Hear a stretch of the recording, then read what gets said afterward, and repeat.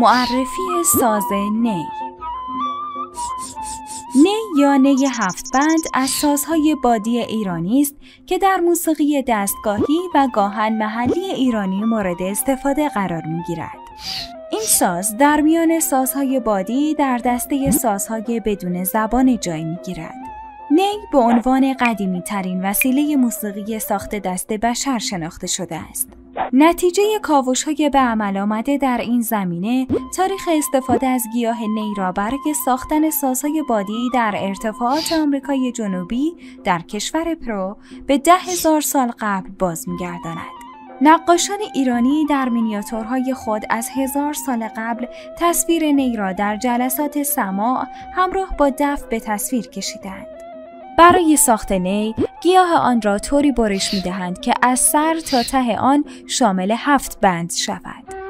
نی به اصطلاح هفت بند متشکل از پنج سوراخ در جلو و یک سوراخ در پشت آن است که توسط انگشتان دوم و چهارم از یک دست و انگشتان اول تا چهارم از دست دیگر پوشانده می شوند. ساختمان ساز نی به چهار بخش تقسیم می شود. یک سری نی دو بند سه گره. چهار تهنه نی به قطرهای متفاوت از یک کنیم تا سه سانتیمتر و طولهای مختلف حدود سی تا هفتاد سانتیمتر ساخته شده. ساز نی قابل کوک نبوده و نوازنده در هم نوازی ها و تک نوازی ها از انواع مختلف نی مانند نی لاکوک، سلکوک و فاکوک استفاده می کند. وسعت صدای نی دو اکتاو و نیم است که به چهار بخش بم، اوج، قیس و پس قیس تقسیم می شود. در کل شیوه نینوازی به دو گونه نایب اسدالله اصفهانی و حسن کسایی انجام می شود. اما تحول اصلی را در نی حسن کسایی به وجود آورد و اصولا او را باید مبدع نی هفت بند نام نهاد. از دیگر استادان برجسته سازنی می توان حسین عمومی، جمشید اندلیبی، سید محمد موسوی، حسن ناهید، محمد علی کیانی نژاد و عبدالنقی افشارنیا را نام برد.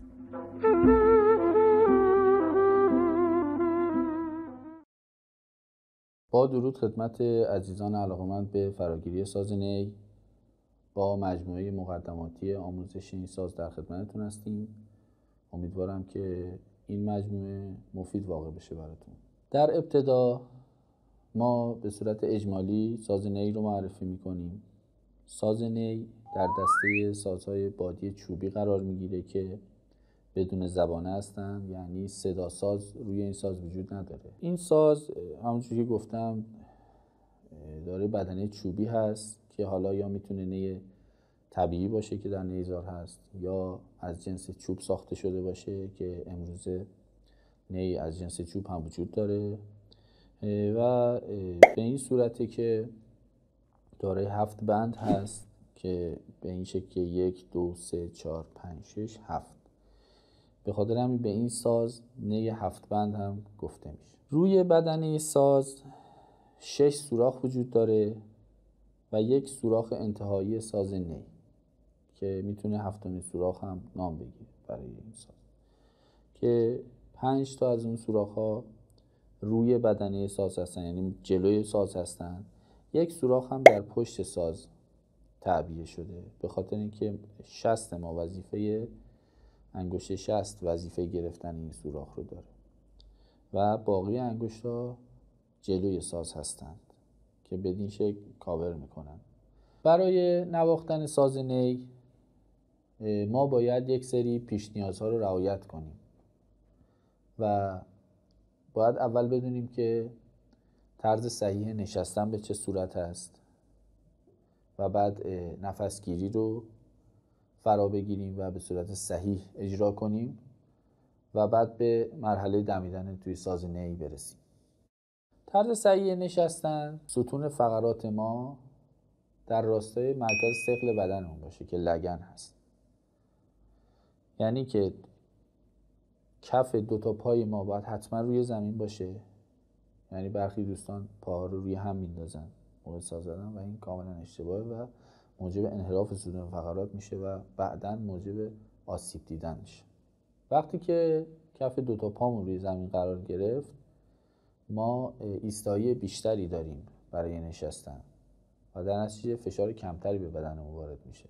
مخصوصا ستون فقرات و مهرهای گردن که برای نوازنده سازه بادی بیشتر این نقاطی که خیلی مهمه.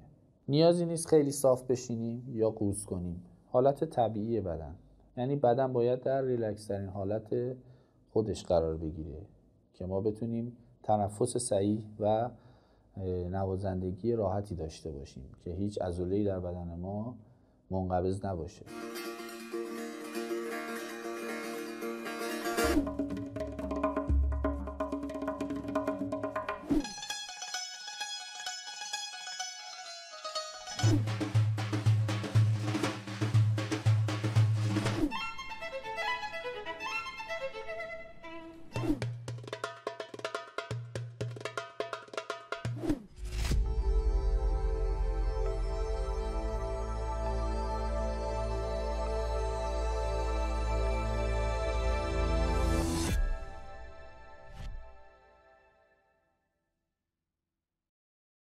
بعد از نحوه صحیح نشستن ما به مرحله تنفس صحیح می‌رسیم. این قسمت شاید یکی از مهمترین قسمت های نواختن سازهای بادی و حتی مربوط به خواننده ها هم بشه این مسئله تنفس صحیح. چون دو حالت رو تحت پوشش میده. یکی هوای مورد نیاز برای دمیدن توی ساز و نواختن و یکی هم اکسیژن رسانی به بدن و مغز مخصوصا که ما توی نوازندگی به طور اختصاصی مغزمون باید خیلی صحیح کار کنه. پس باید اکسیژن لازم بهش برسه. پس تنفس خیلی مهمه. برای تنفس صحیح در ساز نی و سازهای بادی باید این قضیه رو مد نظر داشته باشین همیشه که هیچ عضله‌ای در بدن ما نباید منقبض بشه. چون انقباز در عضلات باعث آسیب در مرور زمان خواهد شد. و همین که ما نمی‌تونیم اون هوای لازم برای اکسیژن رسانی و دمیدن در ساز رو داشته باشیم. راهش هم به این صورت است که بعد از صحیح نشستن ما طوری قرار بگیریم که پرده دیافراگم ما که زیر ریه هست در پایین ترین حالت خودش قرار بگیره تا ما بتونیم حجم بیشتری از هوا رو در ریه ذخیره کنیم. برای این منظور ما اصطلاح میگیم که باید تنفس شکمی باشه.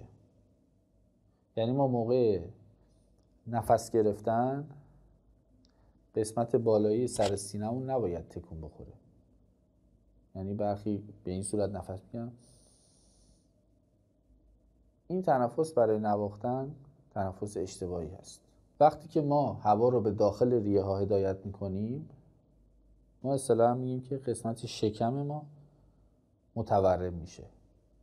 در این حالت اون پرده دیافراگم در پایین ترین حالت خودش قرار داره و ما بیشترین حجم ریه رو داریم ازش استفاده می‌کنیم.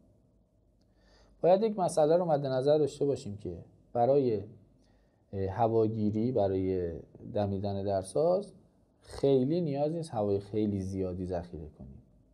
در حقیقت ما هر زمان که می‌خوایم که در ساز بدمیم باید هوای زنده داشته باشیم. هوای تازه داشته باشیم و اصطلاحا هوا مرده نباشه. وقتی که ما هوای خیلی زیادی ذخیره کنیم در ریه هامون اون وقت همه اون هوا رو نمی‌تونیم استفاده کنیم برای دمیدن در ساز و هوای مرده داریم. باید میزانی هوا ذخیره کنیم که برای دمیدن در سازمون لازم هست.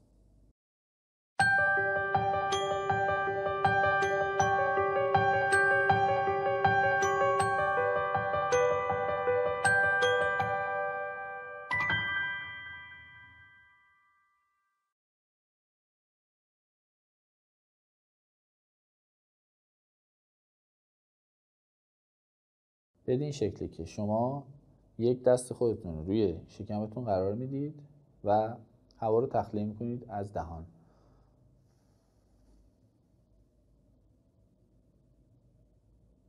همزمان در انگام تخلیه هوا یک فشار جزئی به شکم خودتون وارد می‌کنید.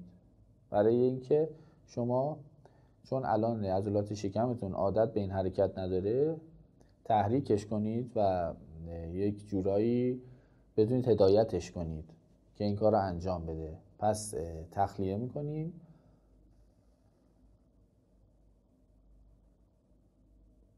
بعد از تخلیه هوا می‌خوایم عمل هواگیری رو انجام بدیم. یعنی دوباره دم داشته باشیم بعد از بازدممون. اینجا با عضلات شکممون دستمون رو به سمت بیرون هدایت می‌کنیم و از دهان تنفس می‌کنیم.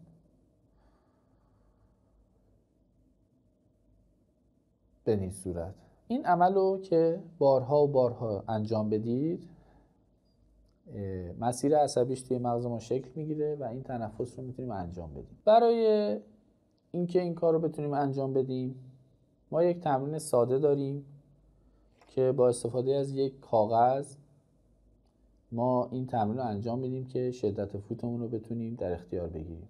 ما این کاغذ رو در فاصله 10 یا 15 سانتی متری صورتمون نگه میداریم.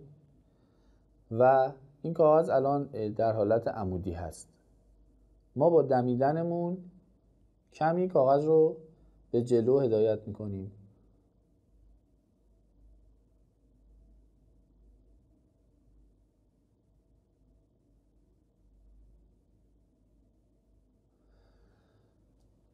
همونطوری که ملاحظه کردید من با دمیدن کاغذ رو به حالت مورب در آوردم و سعی کردم همونجا ثابت نگهش دارم. دوباره انجام میدم.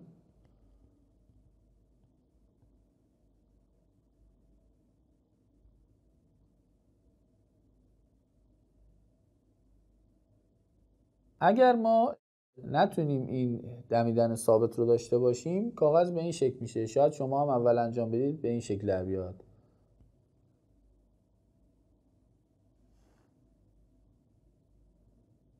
که این اشتباه است.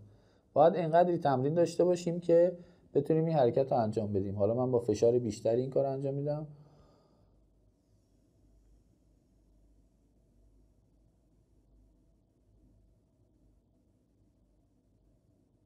تا جایی که برامون مقدور هست این دمیدن رو انجام میدیم که به صورت متوالی باشه. تا جایی که دیگه ذخیره هوایی نداشته باشیم این تمرین بسیار مناسبی هست برای اینکه ما بتونیم فشار ثابت دمیدن داشته باشیم. نازل دمیدن ما در ساز نی لبهای ما هستن که در حقیقت عضلات دور لب هستند که این وظیفه رو دارن. و زبان هدایت کننده هوا در ساز نی هست. ولی نازل اصلی دمیدن هوا لبها هستند که وظیفه دمیدن در ساز رو دارن. پس ما باید با تمرکز ذهنی روی این قضیه حواسمون به دمیدنمون باشه.